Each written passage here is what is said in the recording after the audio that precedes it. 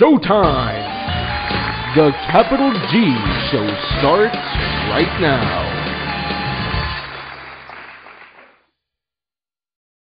What's up YouTube? Capital G here. So guys, I want to talk about a synchro coming out in Judgment of the Light and I really think that it's one of the best cards in the entire set. Unfortunately, it's a secret rare. So it might, you know, run like $25 or whatever. The card is called Armades Keeper of Boundaries. As soon as I read that name, I was like, huh. This card instantly reminds me of Tiras and Adreus. It's, uh, I guess, in the Keeper family. It's a Light Fiend Synchro Monster, 2300 attack, 1500 defense. Pretty decent stats there. It requires one tuner plus one or more non-tuner monsters to summon. And the effect says, if this card attacks or is attacked, your opponent cannot activate cards or effects until the end of the damage step. Alright, so this is one of the best synchros to come along in a very long time. And I think it's going to make an impact in the competitive meta because it's just so damn easy to drop.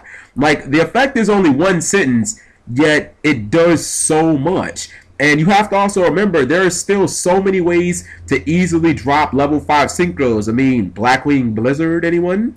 So let's see. Your opponent can't use cards that respond directly to attacks against it a la Mirror Force Dimensional Prison.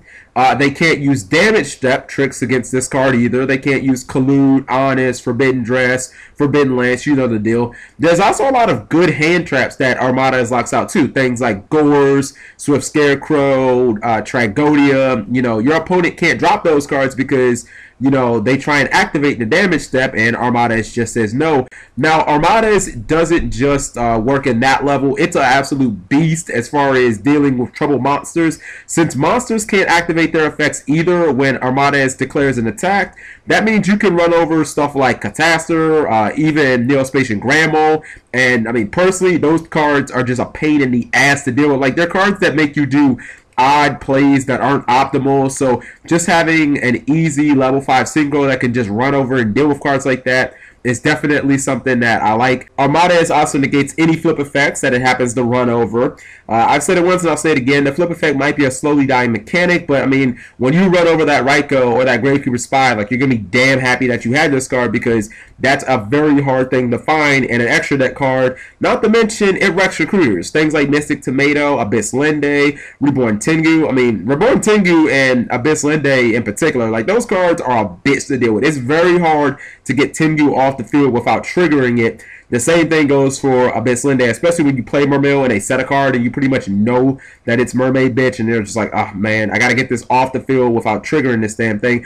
Now, lastly, the most overlooked aspect about this card is that it also works when your opponent attacks it, which means that it's super safe you know, as far as battle phase protection. Like, let's say your opponent attacks Armades and you happen to mirror force them. Like, they can't do shit. They can't Solemn. They can't use Stardust Dragon. They can't use Starlight Road. They can't do anything. This is just an added level of protection that you rarely see in the game of Yu-Gi-Oh! And I guarantee you people will win games because of this. Because when you happen to drop your honest, your opponent can't go, you know, Infernity Barrier, you know, Glad Beast War Chariot. They can't do anything. They can't chain a lance. They can't. There's nothing that they can do. Like this is one of those cards that has blanket protection on a level that we don't really see that often.